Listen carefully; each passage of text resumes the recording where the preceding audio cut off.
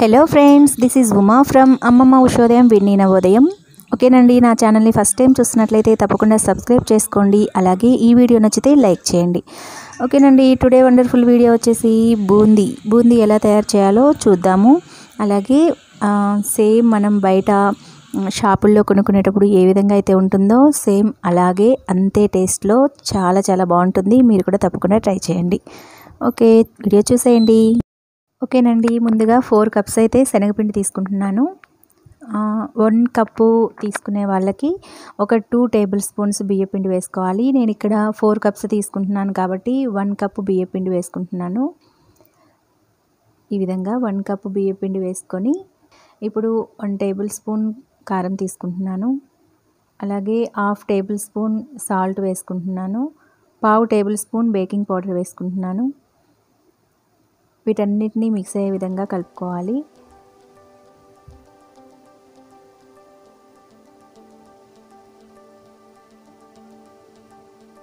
ఈ విధంగా కలుపుకున్న తర్వాత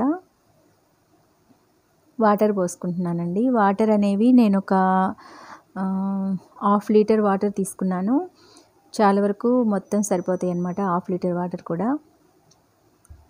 ఈ విధంగా మనకి ఉండలు అనేవి ఏమీ లేకుండా చక్కగా మొత్తం కూడాను ఈవెన్గా కలిసిపోయే విధంగా చక్కగా మనము మెత్తని పేస్ట్ లాగా కలుపుకోవాలి. బజ్జీ పిండి కంటే కూడా ఇంకొంచెం జారుడుగా కలుపుకోవాలి. ఆ విధంగా కలుపుకోవడం వల్ల మనకి బూందీ అనేది చక్కగా వస్తుంది. మొత్తం ఈవెన్గా మిక్స్ అయిపోవాలండి. ఎటువంటి ఉండలు కూడా ఉండకూడదు.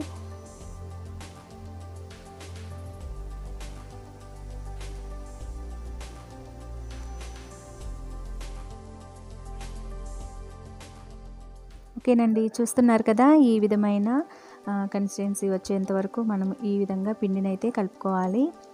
నేను హాఫ్ లీటర్ వాటర్ అయితే తీసుకున్నానని చెప్పాను కదండి. దీనిలో ఒక చిన్న టీ గ్లాస్ వాటర్ అయితే లాస్ట్లో మిగిలాయి అనమాట ఓకే ఒక ప్యాన్లో మనం ఇప్పుడు ఆయిల్ అయితే వేడి చేసుకుంటున్నాము. ఓకే ఈ విధంగా బాగా వేడెక్కాలండి. ఆయిల్ అనేది చక్కగా హీట్ అయిన తర్వాతనే మనం బూందీ అనేది వేసుకోవాలి. ఫస్ట్ అయితే హీట్ అయిందా లేదా అని చూసుకోవడం కోసం ఈ విధంగా టూ డ్రాప్స్ అయితే వేసుకోండి. చూడండి అలా పడగానే పైకి వచ్చేస్తుంది కదా బూందీ.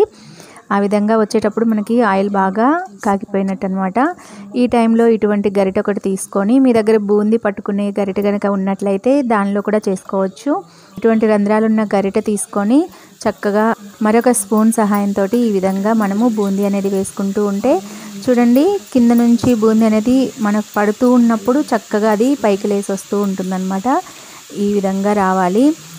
హీట్ కనుక సరిగా హీట్ అవ్వకపోయినట్లయితే ఆయిల్ అనేది మనకి బూందీ అనేది రౌండ్ రాకుండా చప్పబడిపోయినట్లుగా వస్తుందన్నమాట. కాబట్టి హీట్ అనేది చక్కగా ఉండేలా చూసుకోవాలి. మనం బూందీ వేసుకునేటప్పుడు మంట స్విమ్లో పెట్టుకోండి. ఆ తర్వాత వేసుకోవడం అయిపోయాక మళ్ళీ మంట అనేది హైలో పెట్టుకొని చక్కగా మంచిగా వేగిపోయిన దాకా ఉంచుకోండి. చూడండి ఈ విధంగా మనకి పైన మనకి నురుగు అనేది ఆగిపోతుంది. పిండి అంతా చక్కగా ఉడికిన తర్వాత ఆ టైంలో మనం వీటిని తీసుకొని పక్కన పెట్టేసుకోవడమేను.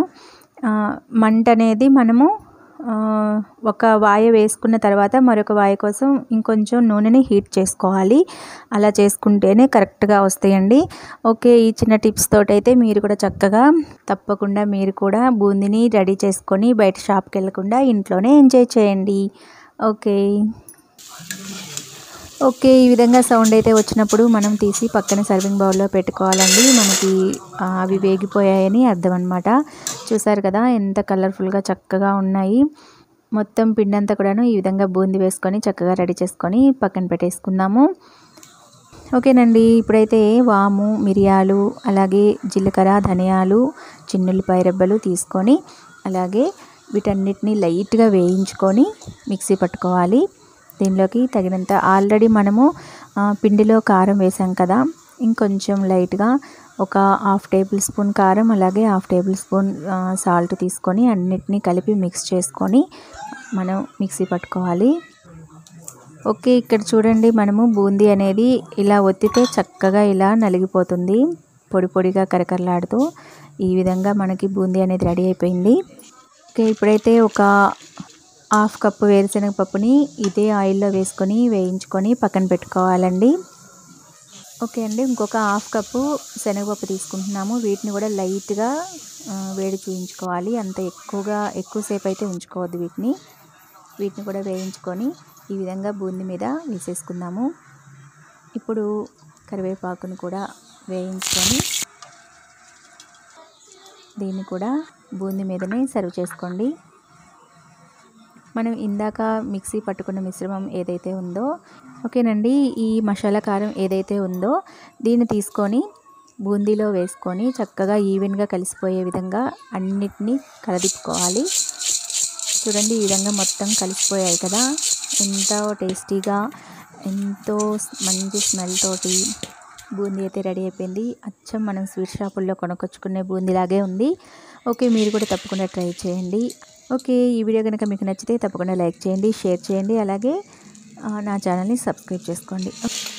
Okay thank you. All is well పాజిటివ్గా ఆలోచించండి పాజిటివ్ రిజల్ట్ ఉంటుంది. Okay bye.